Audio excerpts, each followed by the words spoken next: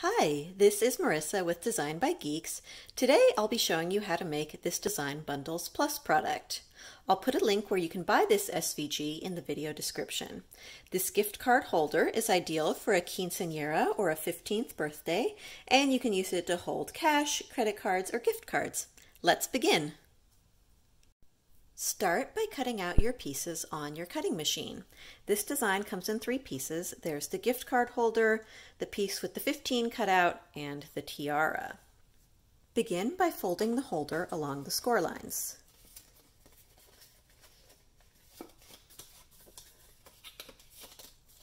You're then going to place glue along these two side tabs.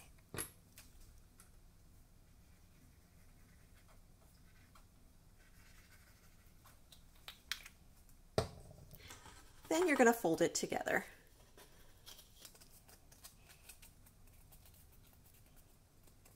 And just keep pressure on that until the glue holds. Now you're going to glue the piece with the 15 cutout to the front of your holder.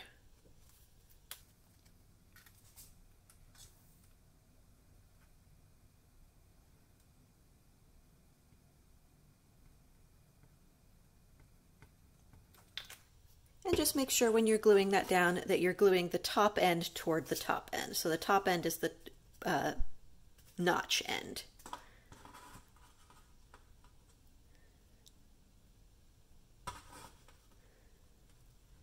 And you just align that with the bottom and sides.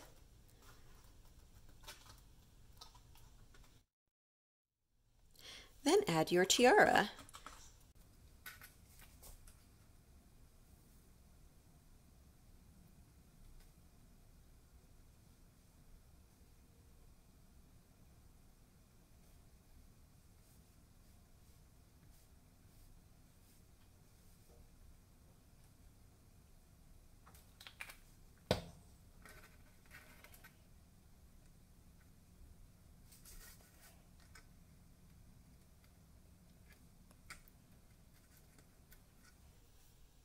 Now all that's left to do is to insert your gift card and you're done.